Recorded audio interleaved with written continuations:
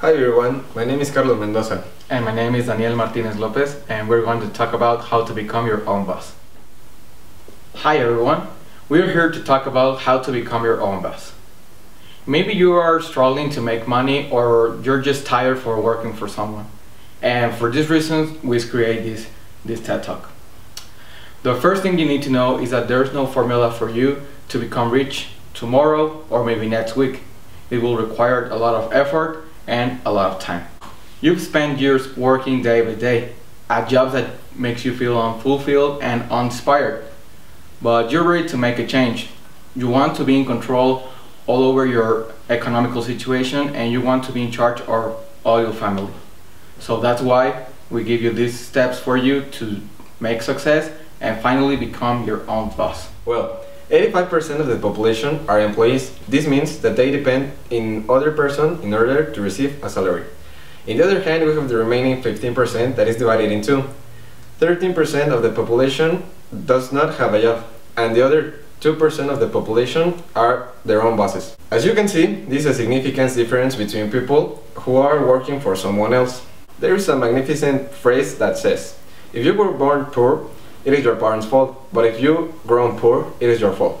Robert Kiyosaki. I became my own boss by the age of 16, but not in the way you think. I didn't create an app or I'm, I don't work a significant company.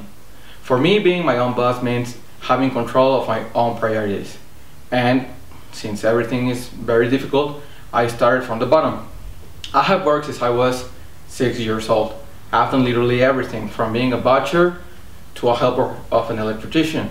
And since I am underage, I didn't receive a complete salary. And it's pretty frustrating that you don't receive that salary. You gotta do a lot of work and you gotta pay attention to all the things that your boss tells you and you gotta complete those actions. So it's pretty frustrating that you are always working and you receive a miserable salary. Then I started thinking about teaching math because it is a subject that I like and I'm good at it. So a lot of my st students told me that I should give classes. And it was pretty relaxing that for the first time I decided when to work and how much money was my payment. So for the first time I was having control of my own priorities. That's why from then on I started to being my own job. Then one of my students mm, offered me a new type of job and he invited me to a big conference in Cuernavaca. It was about Forex a way in which you can invest your own money in several currencies, cryptos, and commodities. And it is pretty fun actually, since I'm good at math, I'm good at calculating all the results, so for me it's pretty easy to make that money. And my own money works for myself, so I'm not working the entire day. I just work from 10 minutes to 30 minutes, so for me it's pretty relaxing and, and I enjoy it. But how do you make this dream reality?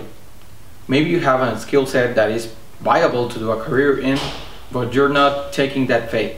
You're not allowed to make that step because of your parents or someone else. You gotta face your fears and do it, please. So now we're gonna give you several steps in order for you to become your own boss. The first step is determine what you want to do. You need to find and select something that you are good for and you are passionate about it. A key example that I can give you is that the first thing you have to do is sort your ideas. Know what your strengths are and weaknesses. Know how much time you are going to dedicate to the business and how much time you are free time. The second step is evaluate your idea and the market. You must think about the type of public you are going to offer your product. The second step is to evaluate your idea and the market. You must think about the type of public or market you are going to offer your product to make sure there aren't any similar ideas or at least not very similar near your community in order to be able to compete. The process of determining if you'll be successful is called validating your business idea. It involves determining whether or not your idea is actually viable and, make, and taking a look at the market you hope to conquer. The third step is to make the switch. Lose your fears. There are going to be people who are not going to share your idea or will criticize it in a bad way but you must maintain your mentality that your idea is the best. The fourth step is to consider your own strengths and weaknesses. You must be sure objective when deciding what you are good and also the things you are not. This is for you to have a very solid structure for your, for your idea. I recommend you to evaluate your emotional state and evaluate your skill set and abilities. The step 5 is to create a plan for your business. You need to have a plan that must include why, when, and how to start your business. The last step is get your finances in order. When you start earning money, you need to make sure that you are having control of it. Do not let greed beat you.